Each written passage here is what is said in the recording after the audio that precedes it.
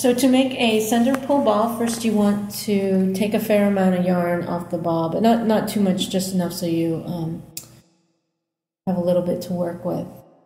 Um, hold the end in your hand and then start making a figure eight around your thumb and index finger.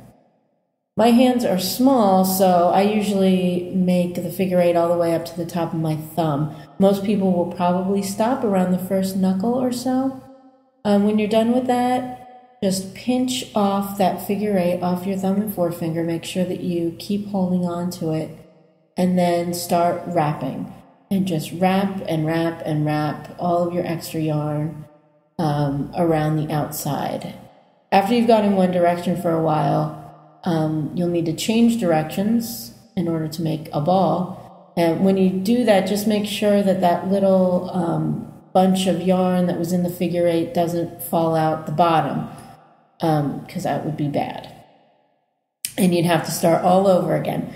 So just keep wrapping and keep wrapping and keep wrapping. And when you feel like you've gone for a while in one direction, go in another direction.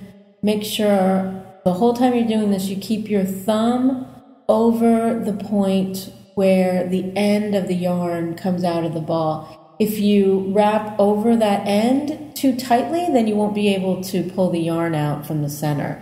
It'll get stuck because that figure eight yarn tends to get tangled in the middle. So you need a big enough hole that you can pull out those tangles if you need to. They're not actually tangled; they're just sort of looped back on themselves. So once you get them out of the ball, it'll it'll untangle itself.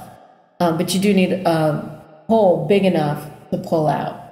So just make sure not to wrap over that end, and you should be good. Sometimes I like to put um, two fingers in between when I'm wrapping because you also don't want your ball to be too tight because that will stretch out your yarn.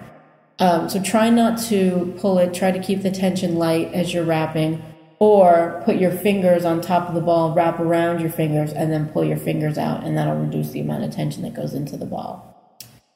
So we're almost done. Keep wrapping. Keep wrapping. Almost there.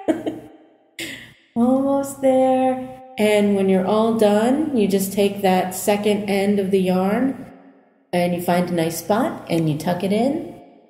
And now you've got a ball of yarn that you can pull from the center.